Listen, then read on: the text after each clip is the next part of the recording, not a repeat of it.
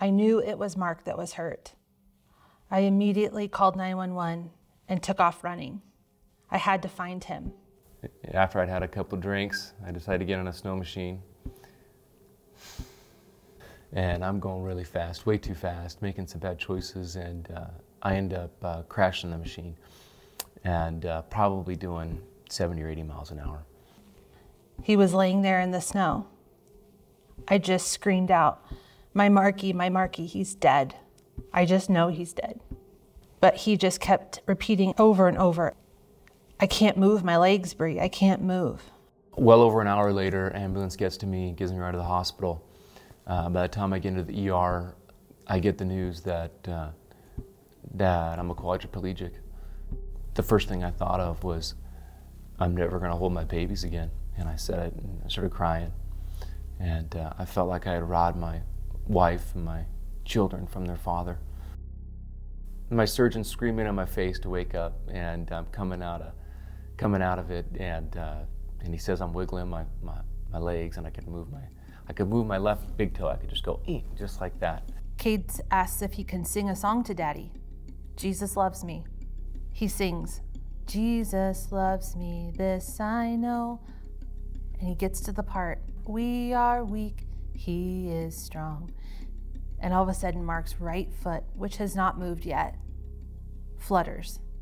No matter where, what kind of recovery I make, if I'm like this forever, if, if I end up walking again, that's going to be your miracle.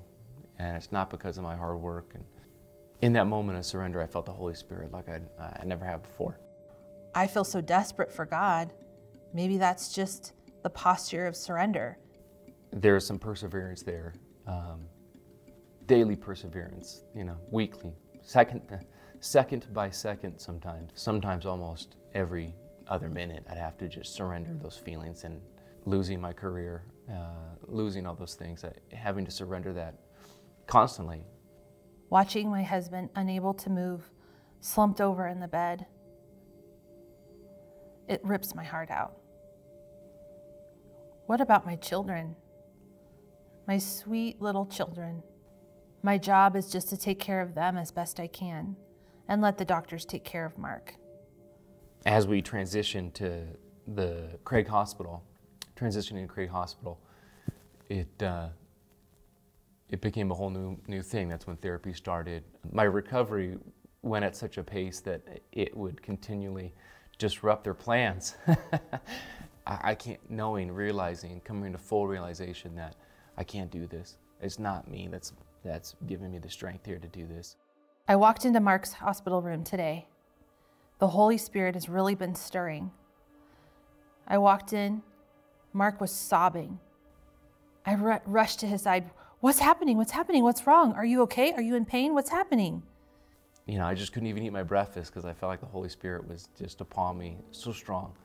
And, uh, and it was in those moments of surrender where I could feel that. Things have seemed really heavy. Caring for my children, caring for Mark.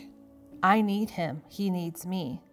The only place I can find solace is on the cold bathroom floor of our studio apartment at the hospital.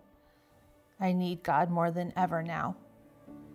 Even in your own surrender, feeling the Holy Spirit, knowing that God is there with you, knowing that Christ suffered just like you're suffering, you know, and if, if you kind of just embrace your suffering and say, I'm going to get through this, I'm going to own this, and I know you're here with me, God. Jesus did that too. He felt that. As things came back slowly in my body, it was like molasses trying to think of something and telling your body to move, it'd be like molasses flowing through your nerves, and then finally your body would move sometimes. So that was the frustrating part of it. And knowing that, like, wow, this shouldn't be happening, but here we are, and it's doing it. It's slowly, my body's slowly coming back, and this is okay, God. I'm okay with this. You know, I'm, I'm alive. Life is a gift. As those, as your body, my body came back, you know, it was a sanctification process. It's so strange, but I feel as paralyzed as Mark is. I feel as though I'm in the same place. Parts of me are asleep, parts of me are awake. I feel so weak at times, most of the time, but it's Christ's power in me when I surrender to Him that I find strength. We've made it home, in a private plane, no less. Someone from our congregation at home has flown down, volunteered their plane, volunteered their time to pilot us home in a private jet. It's amazing, too. When we arrived home from the hospital, our church and our friends had done enough fundraising that a full year's salary was in our bank account. How is this possible? How is this possible that such a tragic moment has turned into this glory, God's glory? What's happening? I called the bank today. They're going to release us of our mortgage so that we can move. Move like we always have wanted to, to Sisters, Oregon, where my parents live. Almost five years ago, I was making some poor choices and I crashed a snow machine and I broke vertebrae in my neck. I was paralyzed shoulders down. Diagnosis was horrific. I'd never walk again. Nine weeks later, I walked out of the hospital carrying the crutches over my head.